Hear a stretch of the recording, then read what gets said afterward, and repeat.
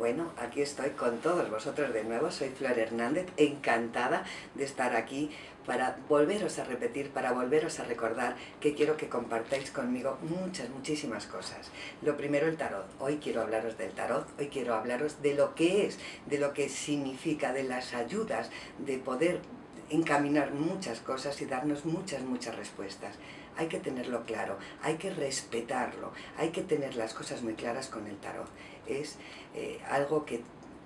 de años atrás está ahí muy marcado y que es sagrado. Lo que pasa que sí que es cierto que no nos pueden dar una respuesta que nosotros tenemos que elaborar, que tenemos que ser conscientes de ello. Nos van a dar claves, nos van a dar respuestas muy firmes y, muy verdad, y con mucha verdad, pero que evidentemente sois vosotros quien luego sois los responsables de coger la fuerza, de coger esa verdad o no hacer caso de ella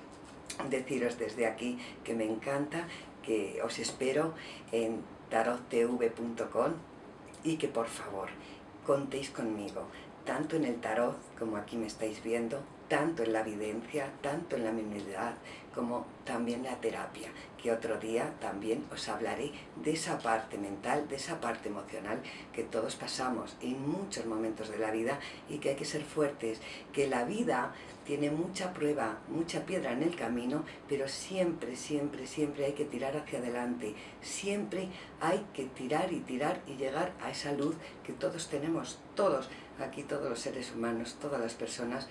eh, tenemos pruebas, pero tenemos siempre esa fuerza por la que hay que luchar y hay que tener esa fe y hay que aportar siempre esa parte de que tenemos nosotros con nosotros mismos de, de tener creencia, de tener fe, de tener audiencia, de tener todo aquello que nos va a facilitar todas las respuestas que está en nosotros. Os recuerdo que tenéis la fuerza y que tenéis la luz, todos vosotros también. Espero